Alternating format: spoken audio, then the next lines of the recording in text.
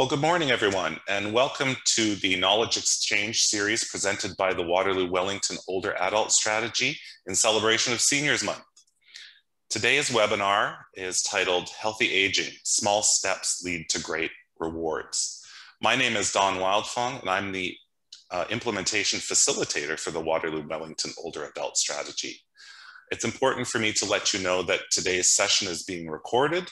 Uh, you are not visible and you can't be heard. The way we'll interact today, and we encourage you to do so, is through the question and answer section uh, of the Zoom platform. So you'll see a Q&A box at the bottom of your screen, and we encourage you to uh, pose questions for our presenters today because as you'll see in a moment, they have a very rich background and uh, and wisdom that we can all benefit from here today as we talk about healthy aging. We're pleased to be joined today by our facilitator, Susie Gregg, a colleague of mine from the Canadian Mental Health Association. Uh, Susie is the Waterloo Wellington Geriatric Clinical Resource Consultant for Primary Care. She also works very uh, directly uh, in a collaborative fashion uh, with the older adult service sector. We'll also be joined today by presenters. Um, you'll see here we have two kinesiologists and a registered dietitian. So we have Rasha El-Kotob, a PhD candidate from the University of Waterloo in the Faculty of Applied Health Sciences in the Department of Kinesiology. She'll be followed by Kathy Somers, who's a registered kinesiologist and certified in biofeedback, stress management, and high performance clinic in Guelph is where Kathy works and Kathy Lepp, who's a registered dietitian and comes to us from the University of Waterloo this morning. So without further ado, I think we'll get going. One more, I guess, uh, piece of housekeeping, and it's to let you know that this, uh, you will receive following this webinar or this session, a recording of the session. You'll receive the slide deck that we're presenting today and an evaluation uh, for this session. So you should likely look to receive that tomorrow morning, but I'll remind you again about that later on. So in today's session, we're hoping that we'll learn about the 24-hour movement guidelines and their application to older adults. We'll learn about healthy exercise practices, and healthy sleep practices for older adults, and healthy, and we'll learn about healthy nutrition for older adults. So as you can see, we've got a very well-rounded uh, view of health this morning, and um, we're looking forward to getting right into it. So I'll pass things over to my colleague, Susie Gregg, for further introductions and some opening comments. Thank you. Thanks so much, Don. It's a pleasure to be with all of you this morning. I'm really thankful that I actually can see my co speakers alongside because otherwise I'd be talking to a computer screen. And um, appreciate so much those of you who are joining us. I think we have a great group this morning. It's my understanding we have over 40 people joining us on Zoom. So please welcome. And I know you will find the session exceptionally refreshing and thought provoking. I wanted to give you a little bit of background before we started about the 24-hour movement guidelines. And these these guidelines really piqued my interest. It must have been back in October when I attended a session that was presented specifically on what is unique about these guidelines for older adults. So let me give you a little bit of background and apologies as I shift my head back and forth between my notes. It's really important to me that I give you the accurate background as eh, um, instead of just my interpretation of the background of these guidelines. So the 24-hour movement guidelines, interestingly enough, are a partnership between the Canadian Society for Exercise Physiology, the Public Health Agency of Canada, Queen's University, and Participaction. And for those of you who grew up and uh, watched TV in the 70s, you'll remember Hal and Joanne and their body break moments. So I was thrilled to know that these guidelines took into account all of the work that had happened with Participaction over the years. The true impetus for these guidelines is really about translating advances in exercise science research into the promotion of fitness, performance, and health outcomes for Canadians. And what makes today's presentation unique is two points. First, the guidelines are now uh, adapted for older adults, 65 plus. So you'll hear about that today. And we really felt strongly from the uh, from the promotion side of the older adult strategy as well as the knowledge exchange that we broaden the guidelines ourselves locally to include some background on nutrition. So, for those of you that will go on and do a little bit more research about the 24-hour movement guidelines, they don't actually specifically include nutrition recommendations, but we felt strongly that was important to include.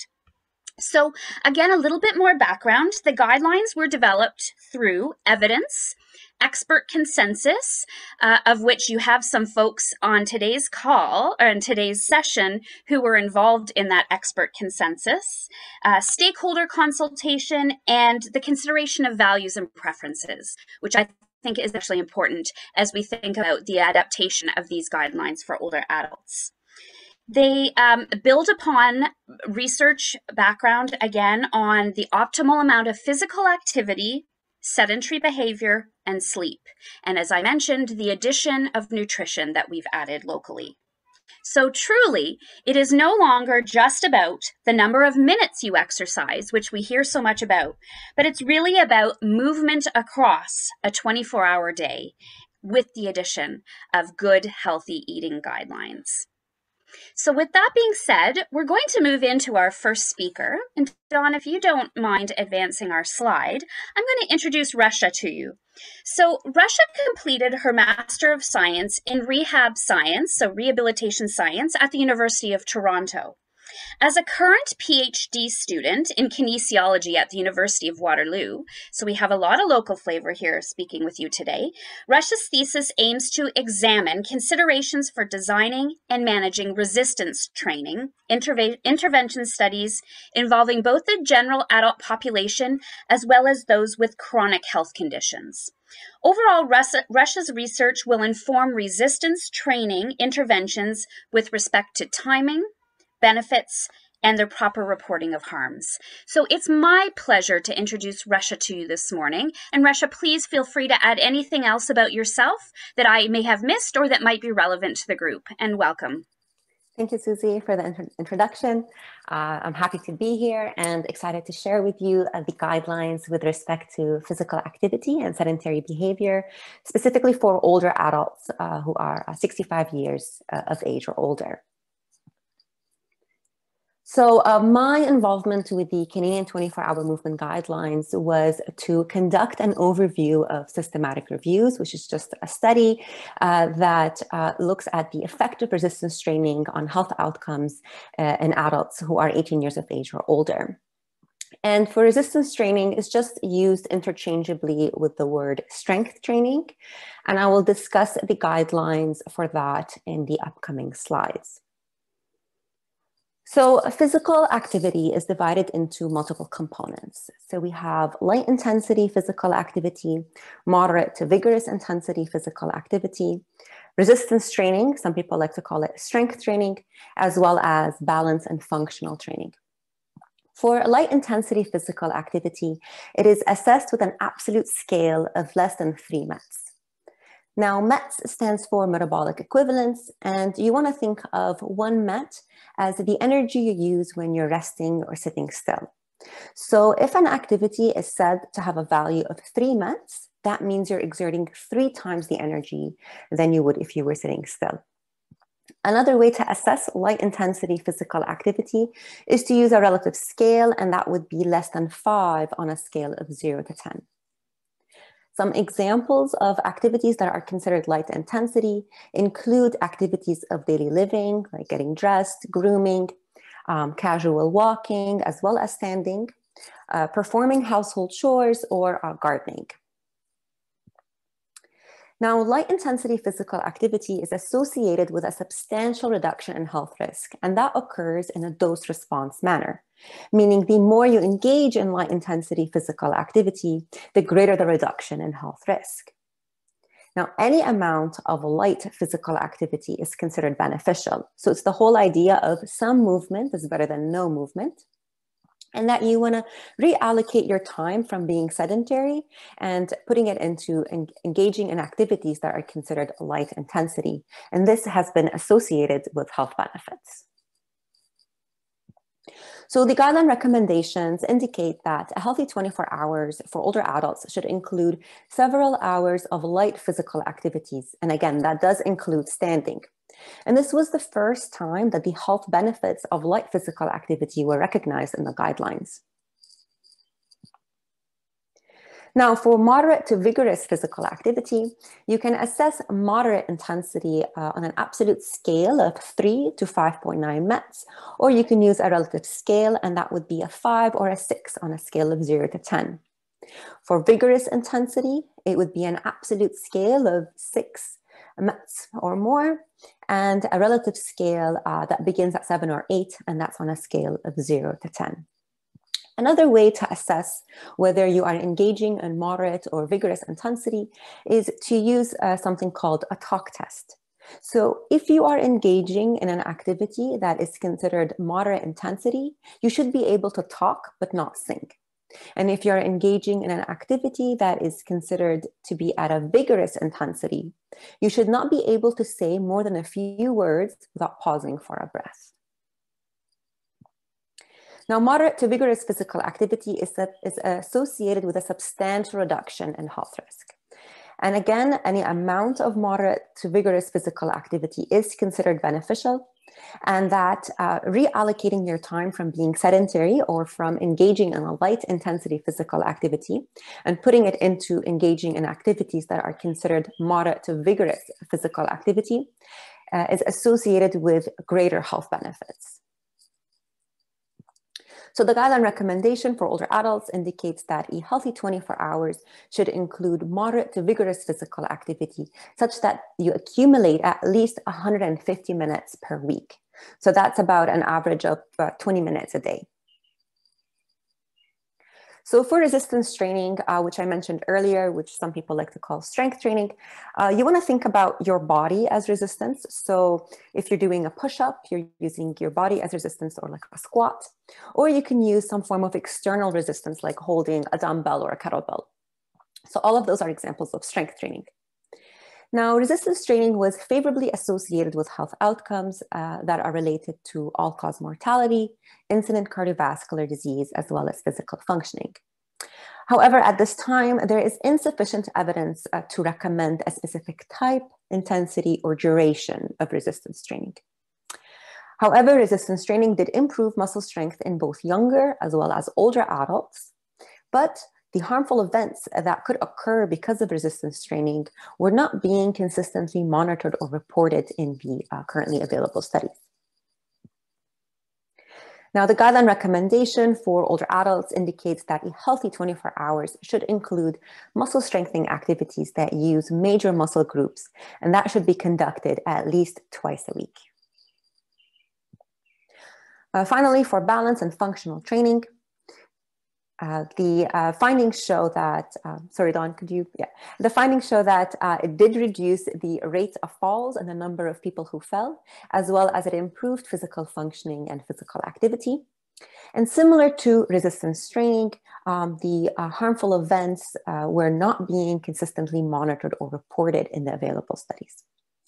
At this time, there is insufficient evidence with respect to the type or dose of balance and functional training that should be recommended.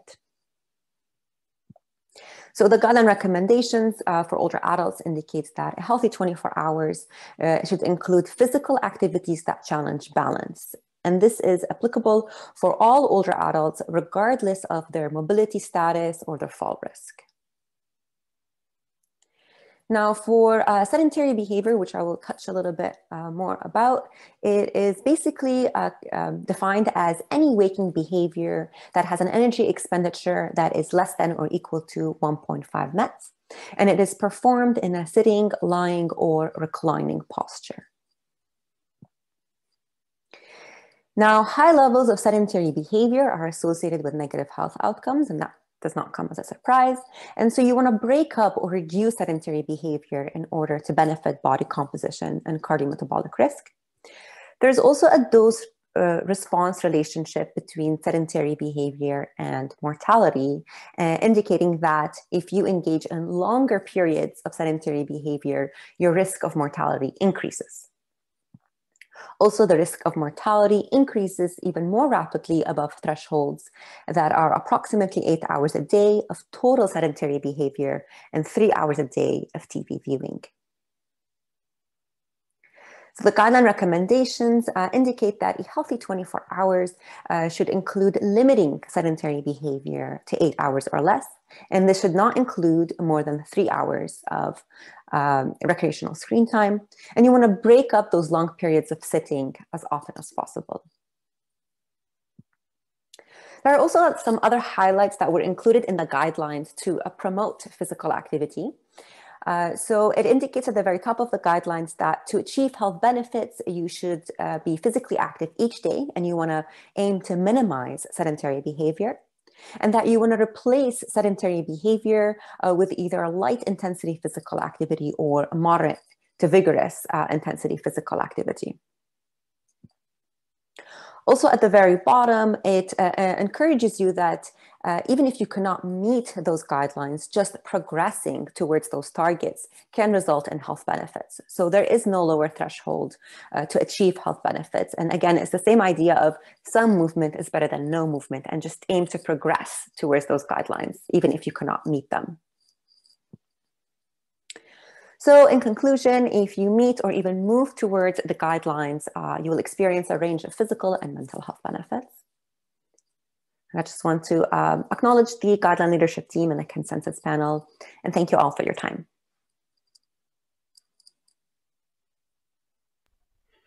Thank you so much, Rasha. Really appreciate the information you shared. And I can um, almost guarantee that there will be questions that will emerge as people begin to sort of percolate on the information you shared. And I really appreciated the comment, you know, progressing towards targets is the most important, and some movement is better than no movement. So, with that in mind, we are going to move into our next speaker, who is Kathy Somers. And a little bit of background about Kathy. Kathy is a registered kinesiologist who is certified in biofeedback. Uh, Kathy Somers, she runs the Stress Management and High Performance Clinic in Guelph, and since 1998 has been providing the Better Sleep program for adults in Guelph and Waterloo region. So it's my pleasure to introduce Kathy to you today, who will share with you more information related to the sleep component of the 24 hour guidelines. Welcome, Kathy.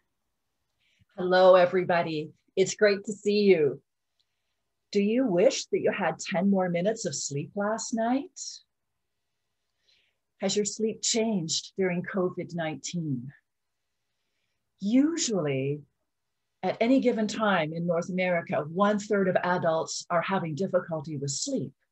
However, during COVID, there's been such a great increase in uncertainty, worry, anxiety, and stress, that that number has increased and now it's about 47% or more of adults are having sleep difficulties. And it seems to be worse for women. We all know that sleep has a huge impact on our mood and mental functioning. Insufficient sleep also impacts our health and activity levels. And it's for this reason that it's an important part of Canada's new 24 hour movement guidelines. These sleep recommendations in the guidelines came from a team headed by Dr. Chaput at University of Ottawa, who recently pooled the sleep data of more than 4,437,100 adults living in communities across 30 countries to see which factors of sleep associated with good health. So in adults age 65 plus, they found that generally having seven to eight hours of sleep a day, a 24 hour day, was most favorably associated with good health. Keep in mind that this does not necessarily mean seven to eight straight hours of sleep. It can be a total of your nighttime sleep added with your naps. So, getting less than seven hours is a concern because it is associated with an increased risk of cardiovascular disease, high blood pressure, type 2 diabetes, obesity, greater risk of falls and accidents, and mortality from all causes. The mechanisms of how lack of sleep may relate to these health problems is basically understood. But how having more than eight hours of sleep is associated with poor health is still a mystery to us. Getting more than eight hours of sleep is associated with a greater risk of cardiovascular disease, falls, mortality, and in women, a greater risk of osteoporosis and obesity. Please note that I'm not saying sleep is a cause of these health conditions, just that too little or too much sleep seems to be associated with these conditions. And so this has led to our first recommendation of having seven to eight hours of sleep in a 24 hour day. That can be the total of night sleep plus naps. Now, this is a general guideline, and it's important to consider individual differences. What are your sleep needs. These are genetically determined. Einstein always said that nine hours of sleep let him work and feel his best. So if your lifetime experience tells you that you're a long sleeper like Einstein, then use that knowledge to set your personal guideline at nine hours. Similarly, if you're a short sleeper like Thomas Edison, then set your guideline for what you need seven to eight hours is a general guideline. Now, Chaput next looked at bedtimes and consistency of bedtimes. Next slide, please. Do you go to bed at different times on different nights? Do you get immersed in activities or socializing, even if it's online socializing during COVID 19? Like this person staying up late even after one or two o'clock in the morning? Do you sleep in on weekends? Next slide, please. Research tells us that poor sleep is associated with later sleep timing. That means going to bed at later times.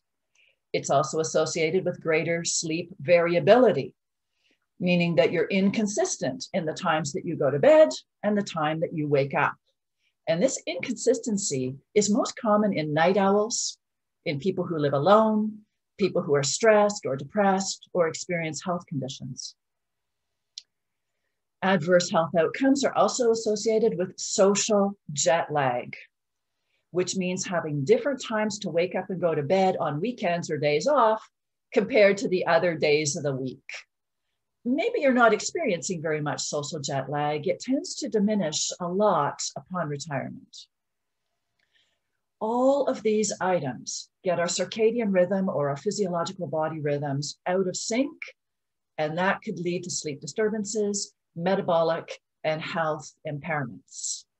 Thus, comes to recommendation number two have a consistent bedtime where you avoid going to bed too late and you have a consistent wake up time. Now, you probably are wondering how late is late, what's an ideal bedtime, what's an ideal getting up time. But the sleep studies didn't look at it this way. They were really looking to report what were linear associations and behaviors that are most associated with poor health. And so Chaput concluded his report by saying future researchers should provide us with benchmarks or target times. So we need to stay tuned for those. Now, for people who are short on sleep, there are a few studies now showing that catching up on your sleep on the weekend is very favorable for good health. If you haven't fallen asleep on me already, you realize I have just contradicted myself. After recommending earlier that you should have consistent bedtime and wake up time, I'm now suggesting you may sleep in on the weekends. So we need more research on this. In the meantime, listen to your body and try your own experiments. To sum up, the sleep experiments that have come then down to the recommendations in Canada's 24 hour guidelines are to get seven to eight hours of sleep in a 24 hour day, remembering it does not have to be all at once, having one or more naps during your day, if each nap is less than 30 minutes long, is just fine. And have a consistent bedtime and consistent wake up time. If you're not currently doing this, the easiest way to start is to consider your current waking up pattern, set a realistic new wake up time, and have an obnoxious alarm clock that you set for that new time that makes you wake up. You put the alarm clock far away from your bed, so you have to get out of bed to turn it off. So you get up at the same time every day. You'll start getting tired about the same time every evening, starting having a more consistent time going to bed.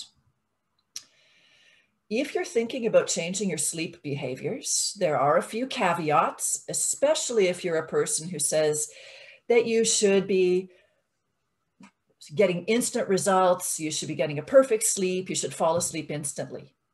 Be kind to yourself. Are you aware that it can take three to four weeks to develop a consistent sleep pattern? So give yourself time. Did you know it usually takes 10 to 20 minutes to fall asleep or to fall back to sleep? So avoid expecting I shall fall asleep as soon as my head touches the pillow. And because we know that sleep is impacted by pain, by stress, by events happening today or things I'm apprehensive or excited about tomorrow, we avoid expecting a great sleep every night. The sleep researchers suggest that we aim for five good nights out of seven and make it more realistic in the expectations we're putting on ourselves. So if you would like some more information, especially if you'd like the articles by Chaput's team that informed the 24-hour guidelines, you can contact me at ksomers at uoguelph.ca. If you have general questions about sleep, there are great tips on sleeponitcanada.ca and mysleepwell.ca. If you're a person with insomnia, if it takes a long time to fall asleep or fall back to sleep, or you don't get much energy from your sleep, the Waterloo Wellington Self Management Program has a better sleep program for tips on decreasing insomnia. It's at www www.selfmanagement.ca. One of many great programs that the Waterloo Wellington Self Management Program has for adults in our region to learn strategies that improve sleep. I hope that you make sleep a priority because small hinges swing open big doors. And starting with just one small step today could lead to a big sleep improvement or consistency over time. What is one thing that you could start on today to begin improving your sleep? And now I'll turn it back to Susie. Thank you so much, Kathy. I really, really appreciated two pieces. The one was the whole release from us for us of I shall. I think many of us have put that wording inadvertently in our lifestyles. I shall fall asleep after 10 to 15 minutes. I shall exercise. And in a moment with our next speaker, another Kathy, we'll be talking about I shall eat. But I like that release release from that pressure. And I think that's what we're seeing now consistently through some of the two presentations we've seen is those small steps make a big difference. And I, that analogy of swinging open the, um, you know, the the hinge was quite profound. So thank you so much, Kathy. And again, reminder for our participants here today: please, as you're thinking of questions that come up, because we're holding them to the end, please add them to our question and a chat room, um, and we'll also open up at the end for the questions. So it's my pleasure now to move us into the next segment of our session, which again is outside of the current 24 hour guidelines, but we felt very strongly was equally important to address today. I have the pleasure of introducing to you today to Kathy Lepp. And Kathy is a registered dietitian with a plethora of background in hospital, pharmacy, and community as a dietitian. She's currently engaged with the University of Waterloo in providing nutrition education and advice to older adults who are participating in the Move Strong at Home research project, which is aimed at optimizing protein intake. So, welcome to our second Kathy today, and we look forward to hearing about um, some suggestions around best eating habits. Thanks, Kathy. Okay, thank you very much. And um, today I would like to share um, about the connection between physical activity and nutrition. And to be very specific, I'd like to talk about how getting enough protein in your diet can help you build muscle and why having that muscle is really important, especially for older adults. So I'm going to try to explain why you should consider becoming pro-protein. Um, and there are three main areas I'd like to discuss. Um, very briefly, I'd like to talk about why protein is important for older adults um, why it's important to preserve your muscle mass, especially as you get older. And then I'd like to finish up with some very practical ideas for how you might get enough protein in your diet. So starting off, um, in terms of talking about why protein is important for older adults, um, we might begin by asking what, what is protein? And it might be helpful to distinguish between the protein in our food and the protein in our body. So protein in our food is a nutrient and it's an essential nutrient, which means that we need to eat protein on a very regular basis every day in order to live. And in our body, protein is the building block for every cell, which means that every part of your body is made of protein. Um, skin, hair, bones, blood, hormones, muscle, and uh, I'll definitely be coming back to muscle because it's very important. Okay, protein's role in the body is absolutely foundational. It's required for all the structures and functions of our body. For example, protein forms the bones of our skeleton and the muscles of the framework. Protein is needed for um, whenever the body makes, heals, or repairs tissue. And protein forms the antibodies, which allow our immune system to fight off disease. And of course, Protein is needed to make the muscles we need for all of our physical movement.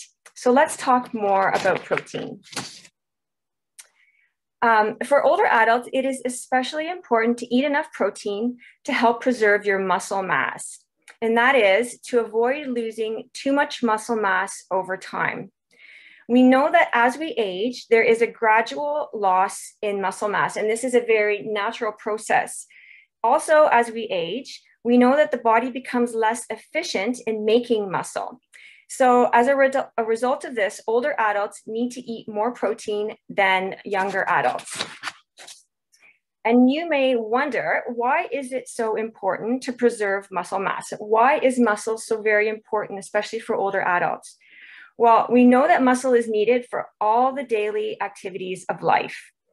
Um, it provides the strength that we need for any kind of physical activity or movement. Um, muscle protects against weakness and fatigue. It allows us to balance and be stable on our feet. And, and in doing so, it helps us to avoid falls, injuries, and disability. Muscle gives us the strength to do all the things we need to do, as well as all the things that we enjoy doing. And so, in this way, Muscle promotes and enables independence and contributes to um, improved quality of life. Making muscle requires two things, protein in our diet and resistance exercise. And Rasha already talked um, a little bit about resistance exercise earlier on. So I just wanna add to that. Um, so first of all, when we make muscle, we need to have enough protein um, in our diet for the muscle to be, to be made. Um, and the protein that we eat in our food is broken down in the body into amino acids, which are the building blocks of muscle. So we cannot make muscle without a ready supply of these building blocks. And secondly, we also need resistance exercise in order to, to um, build muscle. And as Rasha was talking about, resistance exercise is exercise in which the muscles are contracting repeatedly against um, an opposing force. And it's often called strength training. Um, and what it does um, with respect to making muscle is that resistance exercise takes the amino acid building blocks that we've got from eating food, from eating protein, and reforms them into muscle in our body. So it's important to remember that both dietary protein and resistance exercise are necessary to build muscle. And now finally, we get to food and nutrition. So if you agree that it's good, that it's important to have enough muscle, and we know that we need to eat enough protein in order for this to happen, you may be wondering, how do I get enough protein in my diet? And when I think about um, good sources of protein in the diet, I like to think of sort of five broad, very broad um, categories of food or broad groups of foods that provide good sources of protein. Um, first of all, um, there's the group of meat, fish, and poultry. So this would be beef, pork, chicken, turkey, um, fish, shrimp, tuna, salmon, all of those things um, fall into that group. And the second group is eggs, which is not really a group, but I never know where to put it. So eggs is um, eggs are another good source of protein in the diet. Then there is the group of milk, excuse me, and milk products. So that would be things like yogurt, cottage cheese, milk, cheese, um, things like that. Um, and then uh, there's the group of legumes, which is um, uh, which is consists of dried peas and beans. So chickpeas, lentils, soybeans, you know, pinto beans, kidney beans, um, tofu, soy beverage, anything that's made of soy. I want to distinguish here that um, that legumes do not include vegetables, so they do not include um, green peas and they do not include green beans or yellow wax beans. We're talking about dried peas and beans here. And finally, the last sort of um, broad group of food that provides um, uh, protein in our diet is nuts and seeds. So again, peanuts, walnuts, almonds, uh, pumpkin seeds, hazelnuts, sunflower seeds, um, chia seeds. These are all sources of protein, as well as nut butters. So for example, peanut butter or other butters that are made from nuts like almond butter, etc.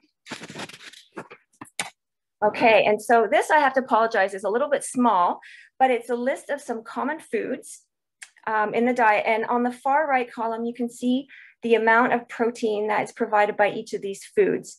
And when you look at this um, table, you can see at the top that the large numbers of protein are coming from the meat, poultry, and seafood groups. These are very rich sources of protein. And then underneath, you can see um, a list of some examples of of legumes. Um, and uh, you can see that they provide a moderate amount of protein in the diet. And on the next page, we have, um, you can see nuts and seeds also uh, contain moderate amounts of protein.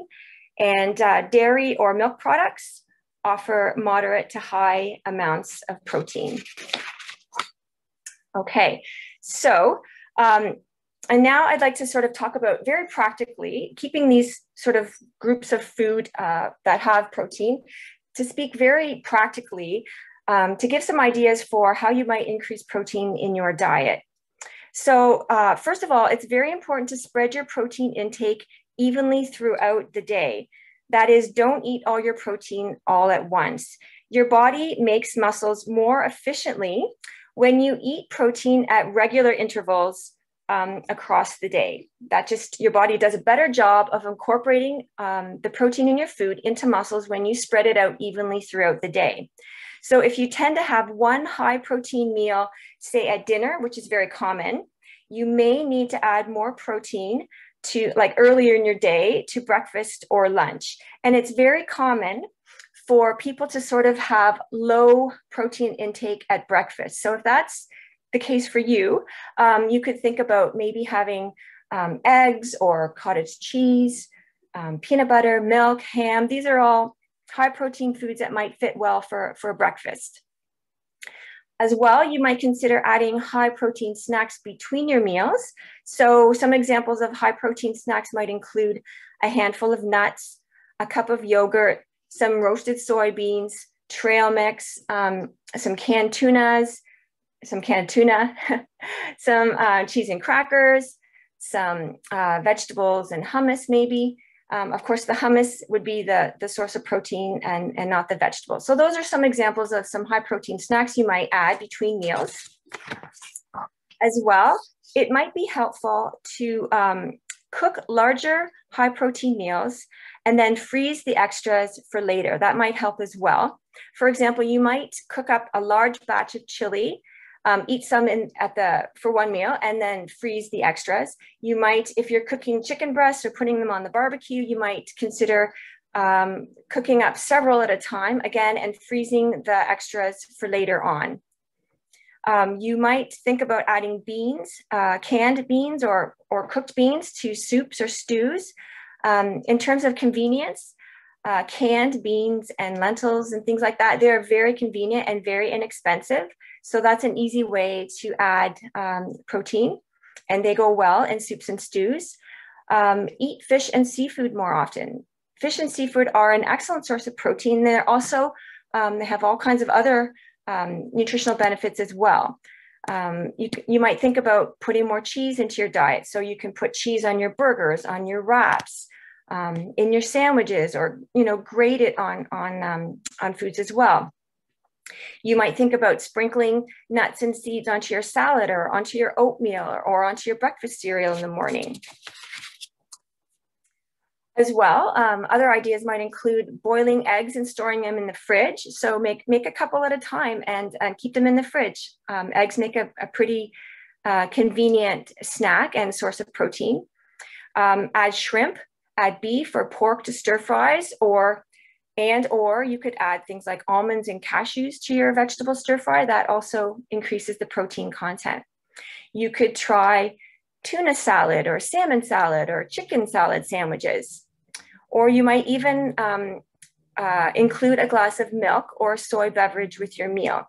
I should note here too that when you're looking for uh, protein in, um, in fluids, uh, milk is a source, like cow's milk is a source. Soy beverage is a source of protein, but the other milks are not. So almond milk and oat milk, for example, these are low sources of protein. I think that um, um, the industry is starting to add protein into almond milk. So we might see that coming in the future. But at the moment, right now, if you're looking for protein um, in milk, um, it should be cow's milk or soy beverage.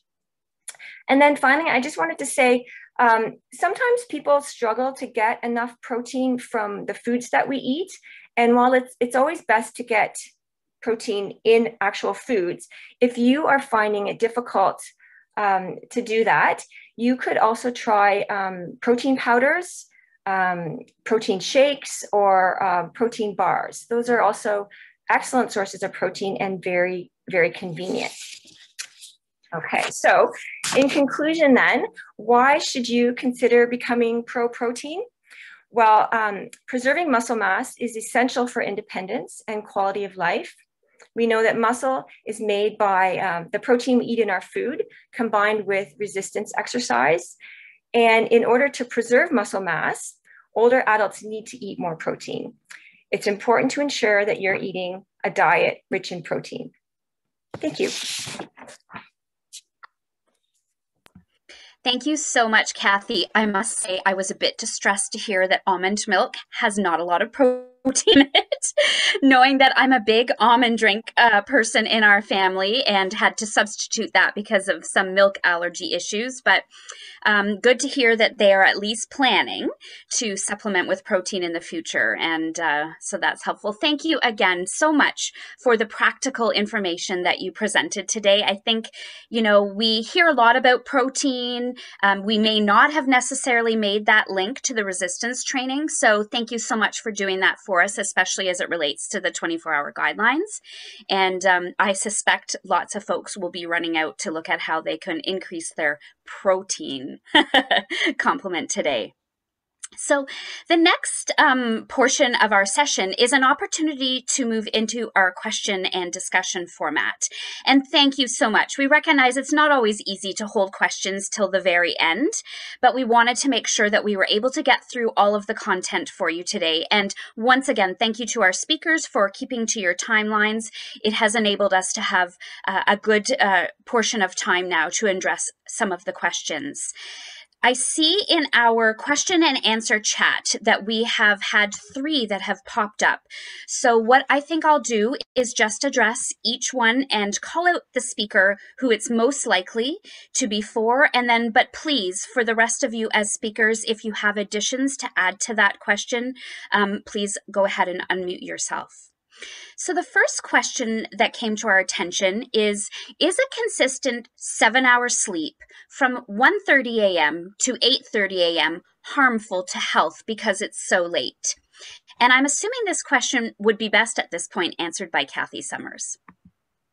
I'll try my best, but you might not like the answer. You heard me say earlier that we're still trying to iron out exactly what are hard numbers to go by. I usually ask my clients to keep a sleep diary so that they can, can figure out, most importantly, do you feel rested from the sleep that you're getting? So it sounds like there's seven consistent hours there and it's consistent. That sounds really good. The only thing I would ask you to be aware of is that um, Night owls do tend to have later bedtimes like this. It is part of their circadian rhythm. But as you age, keep an eye on it. Our circadian rhythm begins shifting, and the people who are night owls become not quite so much of a night owl anymore. If your body sort of seems to be getting tired earlier or wants to get up earlier, then I would suggest then is a time to start thinking about shifting to an earlier bedtime and an earlier wake up time. But for now, probably sounds okay. Just listen to your body. Thanks so much, Kathy. Any feedback from um, Kathy L or Rasha? No, I see head nods. Okay, great. We'll move to our next question, uh, which is Is it a good idea to consider a standing computer desk so we don't sit as much? And I'm going to direct this to Rasha. Thank you, Susie.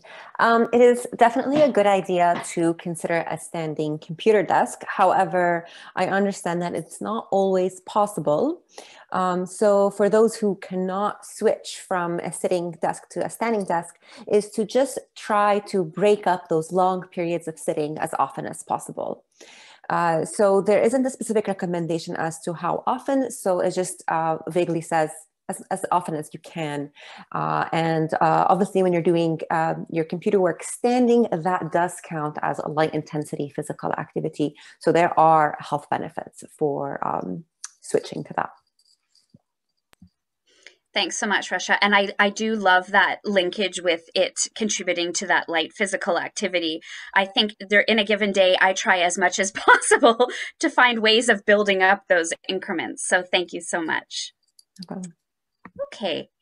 So, our next question is a great one, and it's one that I think all of us have struggled with at some point. How do I avoid gas from eating beans? I'm going to direct that to you, Kathy L. Okay, good question and very relevant. Yes. Okay. So, first of all, I, I would say that if you're eating beans um, that come from a can, so canned beans, which are very convenient, um, you always want to dump out all the water and rinse it well. Do not, do not eat that water. um, so start there. I would start with that.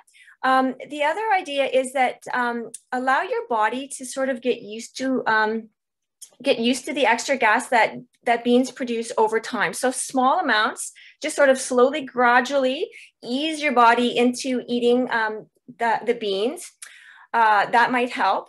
As well, um, I do find that there are products out there like Beano that um, that that give us um, enzymes that help to break down um, the components in the beans that are giving us gas. So, so very practically in my own home, because we do eat beans, I always bring the Beano out and I put it on the table and everybody has one. And I, I find that that really definitely helps. And it doesn't have to be brand name Beano. It's just you want to um, find uh, one of these products that does help reduce gas and and it is effective. So um, make sure that if you're eating canned beans, that you're rinsing them well.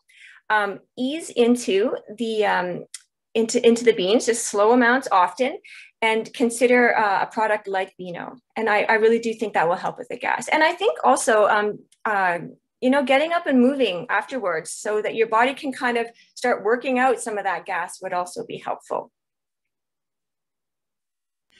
Thank you so much, Kathy. And thank you for that question. Really appreciate it. It's probably on everyone's minds, but not everyone has the courage to step forward. So appreciate that. Our next question, um, I believe, is for you as well, Kathy. What about protein for seniors who are vegan or plant based? Okay, so when we um, when I went over those list of foods that are high in protein, there are definitely some that would meet the criteria for vegan, um, and those would be mostly um, the legumes and the nuts and seeds. So foods from those groups are going to um, are going to be vegan. if um, you are struggling um, as a vegan to get enough protein in your diet, which I actually think from a practical standpoint would be a struggle, I would consider um, looking at adding in a protein powder. And um, usually when I talk about when we consider which protein powder to choose, I normally would recommend whey protein powder just because it does a better job of building muscle. But if you're vegan, um, you're not going to want whey. Uh, there are other types of um, protein powders, vegan protein powders on the market. For example, pea protein powder, which are made, it's made from legumes. So um, you might need to, um, you might need to look at adding protein powder into your diet if you're vegan and struggling to get enough. Thanks so much, Kathy. I, am sure you do receive that question quite a bit. It is certainly one that I've heard from my vegan colleagues that is an ongoing struggle for them just to maintain the, uh, the right amount of protein. So thank you. Our next question um, is for sleep, does oxygen saturation drop during sleep? I'm wondering, Kathy Somers, if you could address that. It's an excellent question, and I might ask my co-presenters to ask me for advice on this one. My suspicion is that usually it would not drop very much. However, if somebody has sleep apnea or sleep disordered breathing, or they're hyperventilating, that then there may be uh, big changes with this, and we would definitely want to make sure that it's addressed.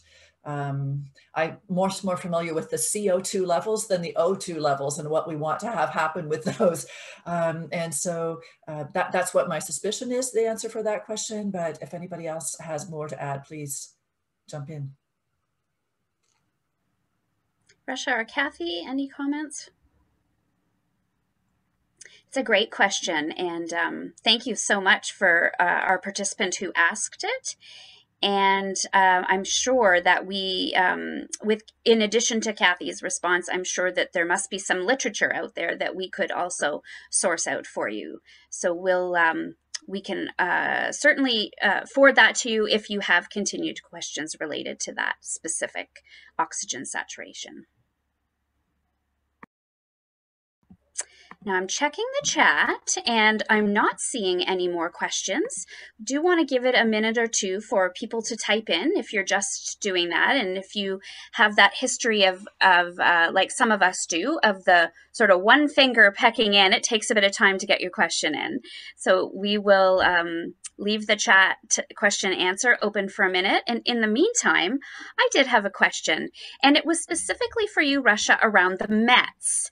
So hmm. that's a, a concept that was newer to me and maybe newer to some of our participants. And so I wondered if you wouldn't mind just reviewing that one more time for us, because I wasn't certain about how myself as an individual might be able to gauge that in a given day. I wondered if you had any practical tips around that. Yeah, um, Don, if you don't mind pulling that slide, it might be easier to just have all of the METs breakdown there. Um, it was for the light intensity physical activity slide. Um, so over here, yeah, this one. Yeah, thank you so much, Don. Uh, so METs, you want to think about it as uh, a short form metabolic equivalence and you want to compare it about you want to compare it with the energy that you use when you're sitting still so you when you're resting and not doing much energy uh, that is considered one MET so when an activity is three METs, that means you're exerting three times the energy. And so light intensity uh, would be anything uh, less than three METs, uh, but more than 1.5, because if it's less than 1.5, then it's considered uh, sedentary. And then um, and the next slide shows that for um, uh, the moderate and vigorous intensity, you have three to 5.9 uh, METs. Um, so you're exerting three times or uh, six times more energy than you would if you were sitting still. And then for vigorous, it's six times or more energy than if you were sitting still. And people always uh, ask me, like, oh, is um, walking really fast considered moderate or vigorous? And um, my my answer about intensity is that it is always relative. Uh, so for me, for instance, uh, if I was walking really fast, uh, because I run, I find that walking really fast is moderate, but I find running vigorous. But if someone does not walk really fast on a daily basis, they might find that walking really fast is actually vigorous. So it's it's quite relative, and you want to think about okay, how hard am I working here? And you want to, uh, and a very easy rule instead of thinking about it in terms of METs because it may be a little bit more confusing. You can use the talk test. So while you're walking really fast, try and see if you can um, talk and if you're able to talk but not sing, that means you're working at a moderate intensity. But if you're walking really fast and you're trying to talk and you see that you can't talk more than a few words without pausing for a breath, that means you're engaging in um, vigorous intensity. So uh, again, intensity is relative. For instance, I find yoga very challenging. so for me, that uh, would be pretty vigorous while I'm doing that. But someone else who does yoga on a regular basis might uh, consider it moderate, maybe even light. It depends on how experienced the individual is. Um, so, so the so I can't give you specific examples as to what counts as moderate or vigorous. You just want to think about how hard am I working while engaging in this activity. However, the examples for light intensity physical activity um, are quite universal, you know, in terms of like doing household chores, uh, you know, doing the dishes, um, or like grooming, uh, getting dressed, stuff like that. Anything that you're doing uh, standing um, that requires a little bit of effort. Um, but it gets a little bit more complicated when we enter the moderate to vigorous intensity. Actually, sorry, it was a long answer, but I hope that addressed that addressed it all did. And um, Rasha, just a quick question from a participant. How much light intensity levels per day or week is recommended? Yeah, so the recommendation uh, indicates several hours. Um, that's what it puts in the guidelines. They didn't uh, provide a specific um, cutoff. Um, so you just want to try to, uh, again, minimize sedentary behavior and try to reallocate time from being sedentary to uh, being to engaging in light intensity physical activity. And that would include, say, you are sitting uh, for most of the day, you're breaking up those long periods of sitting by standing. You know, now that we work from home, we can get up and just do a few chores in between. And then that all counts as light intensity physical activity. Um, so you just want to aim for several hours. However, for moderate to vigorous, that one, we have a specific um, cutoff, uh, like a recommendation of at least 150 minutes per week. So that's about an average of 20 minutes a day. Um, but for light intensity physical activity, just think, you know, the more the better. And anytime you're spending time doing light intensity physical activity, you are taking time away from being sedentary. So again, you're kind of doing both. You are minimizing sedentary and increasing physical activity. So you are progressing towards those um, guideline recommendations. Thank you so much. and I think, Don, I'm, I'm handing it over to you now. I believe we are imminently near our completion. That's quite right, Susie. And thank you so much for your excellent facilitation of today's session and especially to our presenters today. Uh, I think you've shared such important information that we can all easily apply in small steps on a daily basis just to improve, take further steps to improve our health as we age. You know, the Waterloo Wellington older adult strategy is really was envisioned as a 10 year comprehensive plan to optimize uh, the health of an aging population in Waterloo Wellington and, and, and really to strengthen the systems that support healthy aging. So obviously health promotion is a key aspect of what we look at within our work on the strategy. And we'd encourage you to follow us on Twitter at WW Older Adults. So before I thank one, one final time our speakers, I'd like to remind you of the, the fourth and final episode in our Knowledge Exchange series celebrating Seniors Month, that's happening next week. And we'll be talking about, at the same time, next Wednesday, protecting and empowering older adults at risk. And we're pleased to be presenting that session in collaboration with the Elder Abuse Prevention Council locally.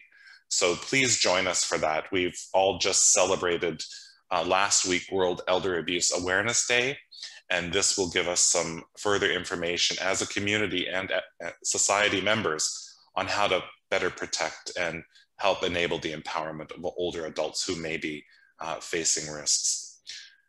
So before we uh, sign off with this, I'd like to thank you very much for joining us. And I'd like you to remember what Maya Angelou always says, uh, every storm runs out of rain, and indeed, uh, this one shall too.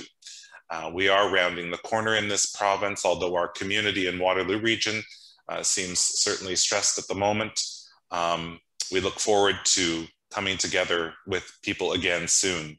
And throughout the rest of this month and every day in our lives, we celebrate and thank older adults for all they do for our society and in our communities. So one final opportunity to thank Susie, our facilitator, Kathy, Kathy and Rasha, our presenters for today, and a, a, really strong, heartfelt thanks to my colleague, Giselle Loyola, who's been working behind the scenes with us. You'll hear from Giselle tomorrow morning uh, with an email uh, that you'll receive, and it will come from our admin team, and it will include the PowerPoint presentation for today, the recording, a copy of the recording or a link to the recording, and you'll also have an opportunity to tell us what you thought about today uh, by way of our evaluation. So I bid you all a fine day and thank you again for joining us. We hope to see you next week. Thank you very much and take good care. Bye-bye.